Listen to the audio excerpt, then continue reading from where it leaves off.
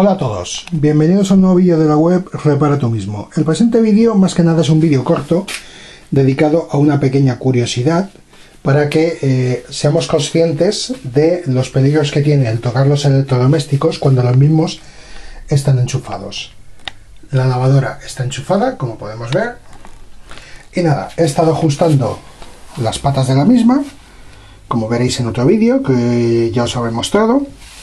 Y aparte de eso, he estado comprobando la torsión de la correa, ya que en una reparación anterior saqué la correa y eh, al volver a colocar la misma, dicha correa no quedó completamente centrada, como podemos ver ahora.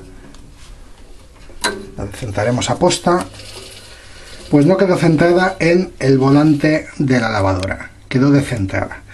Pues nada, lo dicho, yo estaba toqueteando, estaba aquí centrando la correa en el volante del eje del motor, mejor dicho.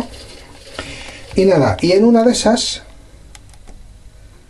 como podemos ver, aquí justamente detrás está el terminal de alimentación de la resistencia. Pues nada, he estado apoyado en la pared con la máquina parada, he rozado el terminal, eh, me ha dado un pequeño recordatorio de que tenía voltaje, o sea, he sentido eh, la pequeña corriente al tocar la misma, que pasaba a través de la mano. Y lo que he oído es que un zumbido pequeño se activaba en la lavadora y sonaba un pequeño clic. El pequeño clic era sencillamente el bloqueo de puerta que se había activado.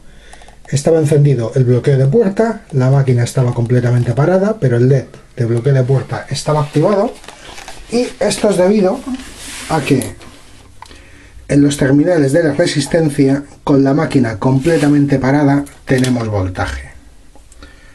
Tocaremos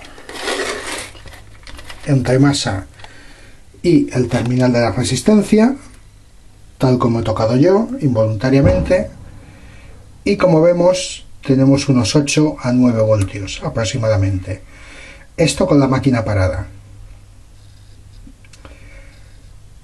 Posiblemente sea algún tipo de fuga en la placa electrónica, en alguno de los semiconductores, pero bueno, que tengamos conciencia de que estando la máquina parada, en la resistencia tenemos un pequeño voltaje.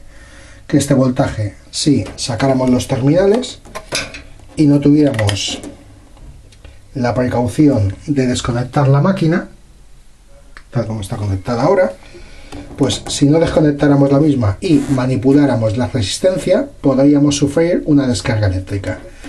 Lo dicho, más que nada es un pequeño recordatorio, que tengamos conciencia de que en los electrodomésticos, a pesar de estar parados los mismos, sigue existiendo electricidad, que tengamos precaución con eso, y que a la hora de tocar los mismos, realicemos la desconexión de la red eléctrica para poder trabajar con seguridad. Ya veis que una cosa que inicialmente no tenía que tocar nada de electricidad, pues nada, puede sufrir una pequeña descarga y la máquina, eh, cosa curiosa, ha activado el bloqueo de puerta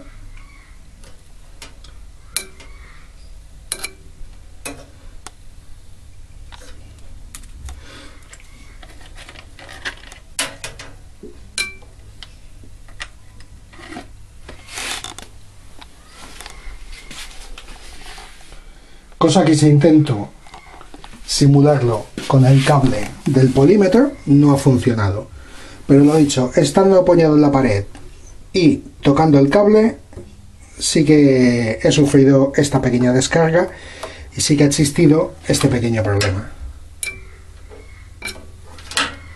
Ahora no salta pero bueno, son cosas que suceden que podemos tener accidentes donde menos nos lo esperamos pues nada, espero que este pequeño vídeo os pueda ser de ayuda, que cuando tengáis que tocar los electrodomésticos, aunque no tengáis que tocar la parte eléctrica, que, los desconectéis de la red, que saquéis la clavija de alimentación y a posteriori los podéis mover o manipular con seguridad. Lo de siempre, un saludo y que sigáis visitando la página web y los vídeos, para tú mismo.